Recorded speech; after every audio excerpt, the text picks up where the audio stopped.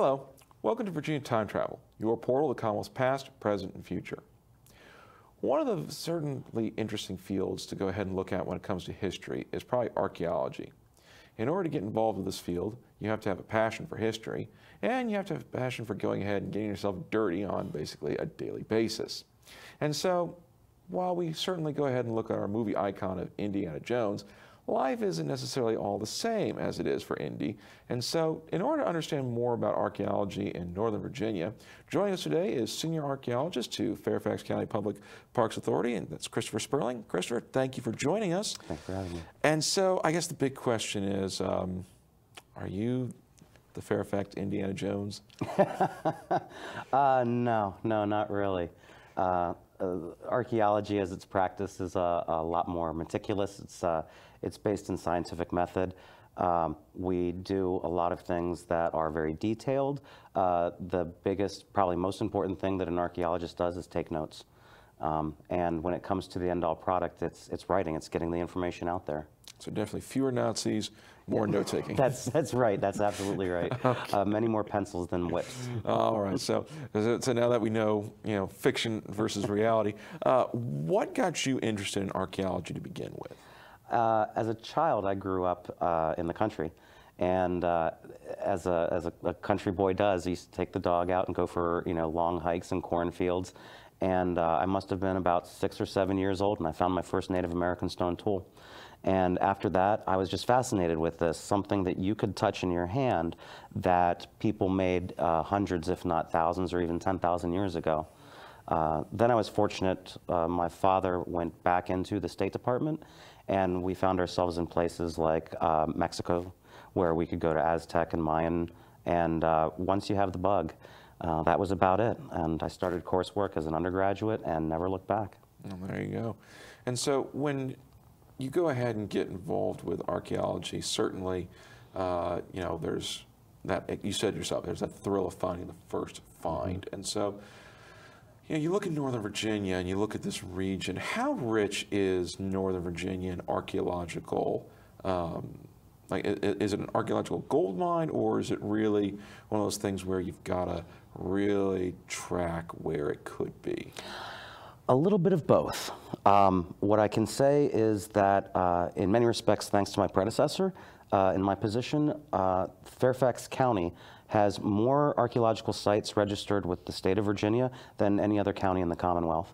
Uh, we have archaeological sites in the county and in places you wouldn't expect for as developed as the county is. We have preserved sites that uh, are as much as 10 to maybe even 10, 12,000 years old um, all the way up through uh, Civil War sites uh, and uh, even more modern. Uh, you know, as we say, things become historic. More, more things become historic every day. Um, and especially with archaeology, where we look at the things, we look at, at, at what a culture has produced and what that tells us about how they lived. That um, that we can really contribute things. We can really contribute to a discussion um, that sometimes history doesn't have, that history has failed to record. Um, and in that respect, history and archaeology can work really, really well together. Um, and it's, it's, it's, a, it's a wonderful dynamic. Now, since you say you have sites that are up to 12,000 years mm -hmm. old, uh, what is the oldest site then in Virginia, or at least in Northern Virginia? For um, in Northern Virginia, and in this time, we're looking at, at huge spans. And as a result, sometimes it's hard to narrow it down very, very tightly. But um, in the 10 to 12,000 year range, mm -hmm. and at that time in, in Northern Virginia, uh, climatically, uh, the environment is completely different. Uh, it's several degrees cooler. It's uh, it's uh, more uh, wet, um, and sea level is considerably lower. And um, so you have to look at things a lot differently. Most of the area, instead of being forested, was uh, grassland. It was more like a savanna. Um, the people who were here were uh, small band hunter-gatherers. Um, and uh, they followed their resources uh, where they could take them. Um, so that's probably, those, those are what we're looking at. And, and, they're very, very rare to find, partially because of sea level rise. Uh, they like to keep, most peoples like to keep fairly close to water. Um, and also because they, they lived in, and moved around so much in such small bands, the, the amount of materials they left behind um, that survived that long which really oftentimes is no much more than, than the stone artifacts, or much more commonly, just the chips for making those stone artifacts are, are, are sometimes all we find or all we have to go on.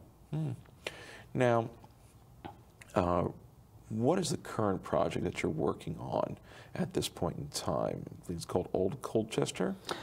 So I'm working on several projects. Uh, Old Colchester is one of the most important. It's been an ongoing project since uh, 2010. I was first hired by the Park Authority to lead one of the teams that was doing the field investigations. Uh, the park, the Old Colchester Park and Preserve, uh, was acquired by the Park Authority because it is extraordinarily rich in both natural and cultural resources. Um, the oldest site that we've identified on that property uh, is about 10,000 years old. Uh, again, these uh, small band hunter gatherers. Um, and it also includes about 25% of the historic port town of Colchester. Uh, the town of Colchester uh, developed in the, uh, as a town, a tobacco ins- inspection station um, in the 1750s. Uh, every class of people would have been there. You would have had your wealthiest merchants and planters. George Washington shopped just across the street at the, the Henderson store. Um, George Mason was well involved. Some of the most prominent uh, figures in colonial Fairfax um, were, were there, all the way to your um, artisans, uh, your skilled trades, uh, sailors, uh, slaves, uh, all manner of goods and people, ideas uh, going out and coming back in. And this is what makes these colonial port towns really special. So many of those people who, who made up the rich diversity of those towns never had the ability to leave their mark historically. But as I like to say, all of them left behind trash. And, and as a result of the trash they're leaving behind, and, and trash is honest, uh, is that, that enables you to then reinsert them into the record to put them alongside the Masons and the Washingtons. Now, since you're, since Old Colchester is a, uh, is a port town, where is its exact location in relation to how we would look at the map today? Sure. Uh, it's in southern Fairfax County.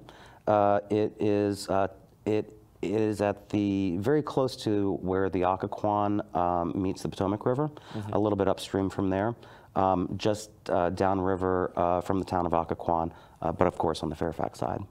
And so, uh, would this be in relation to, in Fairfax County, there's the old Colchester Road. That would be the road that would have led right to it, or is it just a conveniently named location? That's uh, that is uh, that's exactly it. it. It ends at Old Colchester, as we like to say. If you take Old Colchester to the end, uh, if your feet get wet, you've gone a little too far. But otherwise, you're you're down you're downtown Colchester, All right, so you're right there Yes. where you need to be. and you'd never think that you were, because the only thing that are there now is is uh, is ranch houses or ranch houses that were built uh, in the 1950s period. Um, Colchester did something that is really odd in that so many of these historic colonial port towns developed as a port town and then it continually developed and developed. And, you know, that would be uh, uh, Hampton, Newport News, um, Annapolis. Uh, and so there, the history is oftentimes buried or obliterated by, uh, by later development. Colchester, it developed as a town, but then the port silted in. And rather than being built up and, and expanded, what ended up happening is the land uh, mostly reverted to, um, uh, to field, to agriculture. And then later in the 20th century, mid 20th century, there were relatively large lots uh, with small houses on them. And as a result, uh, a lot of the town of Colchester, much to our surprise, was preserved. Uh, so uh, just being down there, we knew George Mason University had done archaeological investigations in the 80s and had identified one uh, stone uh, foundation. Uh, in the work that we've been doing there, just in the town part, and we've done a lot of work outside of town, uh, we've already discovered uh, three more structures at least, um, none of which that we knew were there. And, and we, we weren't sure if they were going to be intact or if they would have been disturbed by later activity, but so far, a remarkable state of preservation. Now, in creating this preservation site, what is the long-term ambition for something like this? I mean, can you actually make this something where people could visit to get an idea, or uh, is it just something that's fenced off that say that says private property do not cross? What's the what what ends up happening to like these sites in the long term? Uh, Old Colchester was acquired by the uh, Park Authority, and the Park Authority mission is to have these resources and to preserve them for the enjoyment of generations present, of current and, and future. And uh, our, our dedication is first to understanding them, to preserving them, but then also to engaging with the public. And I think that this is of the utmost importance because our greatest support comes from uh, the support of the citizens of Fairfax. Uh, they're fantastic with their support towards us. And although it's a preserve, so we're not going to develop it in a way that would disturb the uh, cultural or natural resources. Uh, the planners had a very difficult job in doing that, but uh, they worked out a master plan that is currently being finalized uh, that does both. It, it preserves, but it brings the public there. Uh, we'll have uh, trails that they can walk, interpretation, where they can get a better understanding of both the culture and the nature all around them. Um, and one of the things that I'm really excited about is uh, we, both when I say we, the resources staff, natural and cultural, uh, found an area where uh, it could be a small development of an outdoor classroom. And I really like the idea of being able to bring students into the outside and, um, and let them engage because so much of archaeology and so much of, of people and where they settle and how they settle and what they do is uh, influenced by the environment and by the things as basic as the soils and the trees and the, uh, uh, the climate. And uh, I really like the idea of being able to bring them out there. I think it, it, it provides a, a, perspective that, that's difficult to attain in a classroom. Mm -hmm. Now, as you go ahead and start doing more digs and search different areas of the county, uh, you certainly do discover different types of people.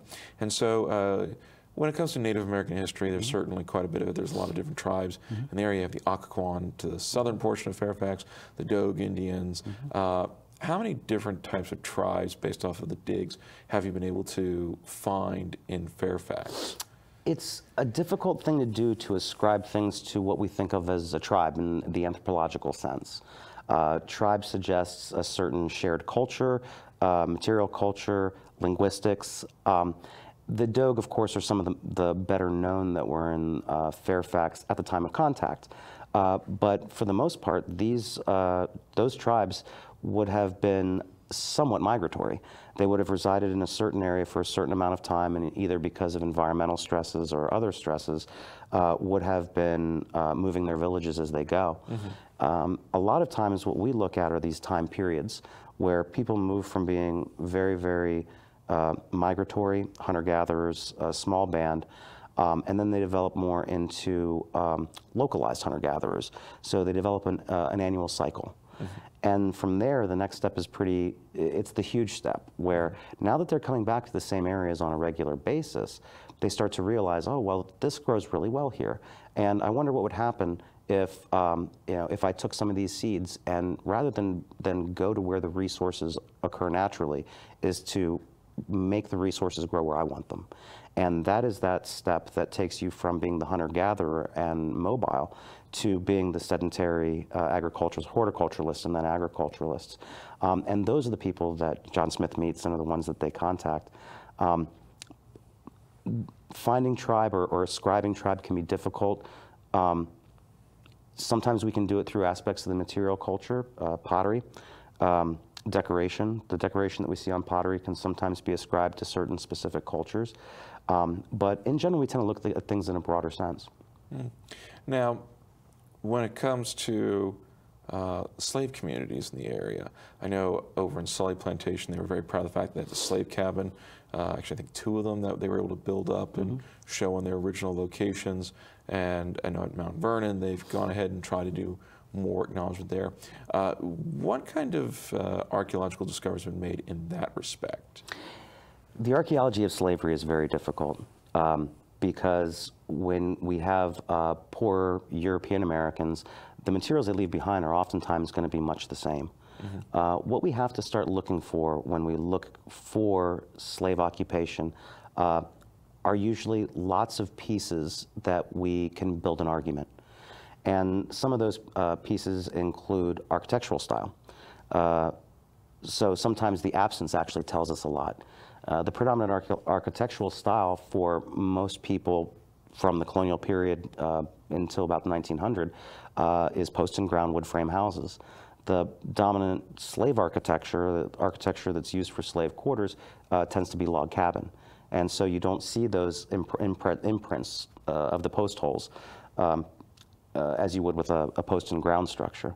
Um, then you start looking at other things. So uh, minute differences. Uh, cellars, we all pretty much know what a cellar is. Uh, but common to uh, slave sites are interior, what we call subfloor pits. They're smaller. Uh, the, um, some of the hypotheses are that they were either used by individuals or family groups as the slave family began to develop more uh, for storage.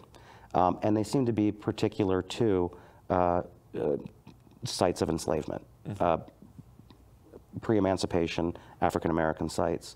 Um, another is a thing, uh, a, a, form of pottery that we call colonoware. And this is usually uh, unglazed coarseware uh, that is constructed in European forms. Uh, so it looks very much like Native American pottery, but the actual form, vessel shape, uh, more closely mimics European ceramics. Mm-hmm. Um, finally, there are things that are, are suggestive uh, beads, and in particular blue beads, glass beads, um, uh, are very uh, common on um, African American sites.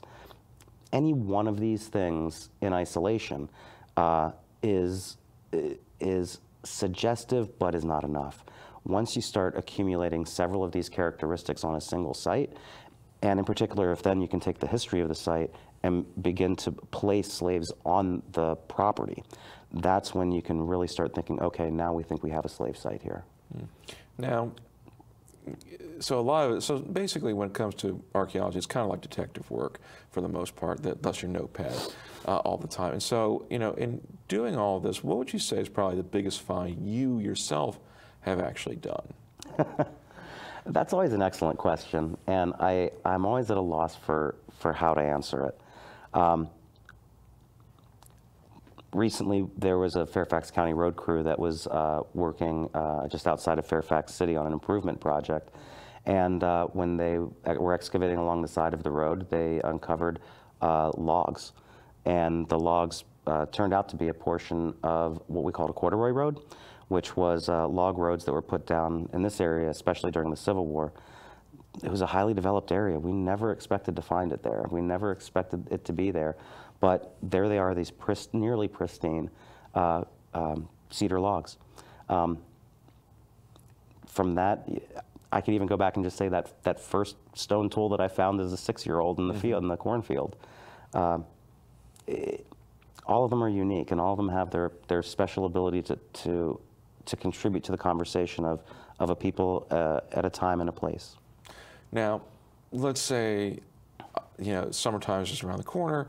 I want to get involved. I want to come out and for a few minutes go ahead and live out the childhood dream of being Indiana Jones by doing an archaeological Are people able to come out and volunteer to go ahead and be like a junior archaeologist for the day or a week, or is this something where it's kind of like maybe we're you know you can come look, but we're concerned that you'll destroy everything instead?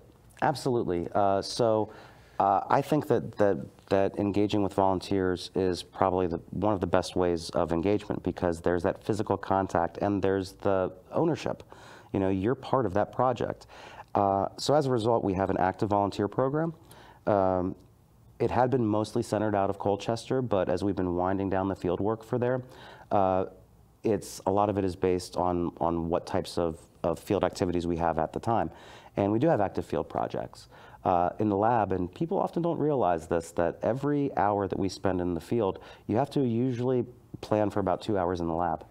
Um, so for people who don't want to necessarily go outside with all the critters and the heat and, or the cold and the wet, um, we can use uh, help in the lab. Um, so the, we do have certain restrictions where um, volunteers must be, I believe it's 16 years or older, uh, and even if they're over between 16 and 18, uh, they have to at least at first be uh, accompanied by a parent or guardian. Um, we ask that they contact us and set up a, an orientation where we kind of inform them about the archaeological process. Uh, we uh, tell them uh, the types of work that are we're, we're doing, uh, what their role would be, um, and then they spend a little bit of time doing some lab work. And then after that, if, if they feel that they have a, a taste for it, then they're welcome back. Uh, usually we have uh, lab volunteers on, I believe it's Wednesdays, Thursdays, and most, uh, Wednesdays, Thursdays, Fridays, and some Saturdays. Uh, field volunteers are uh, Thursdays, Fridays, and some Saturdays. And to do that, uh, you could look us up online. Uh, the, uh, officially, we are the Fairfax County Park Authority Cultural Resource Management and Protection Branch. Yeah, that's, a a, that's a mouthful. Um, um, and the Colchester uh, team uh, is called CART, Colchester Archaeological Research Team. Uh, Now they're they're fanning out. They're becoming more the county archaeological research uh, research team, um, and they operate a blog, and uh, that's uh, www.cartarchaeology.wordpress.com. And on either of those are links uh, to the uh, county volunteer site where we ask that you enroll, um, and that helps us maintain our hours and um, also plan. Uh, we've had days when we started Colchester where we had 12, 13 volunteers on one day, and you want to make sure that you can maximize, you know, their utility. And so what we would do is then once we knew they were coming, we could be ready for them and have them just ready to start getting dirty. Well, that's always uh, good to know that you can come out and get ready. Now, in looking at this, you know, there, there's certainly people who feel that, you know, hey, this might be for me.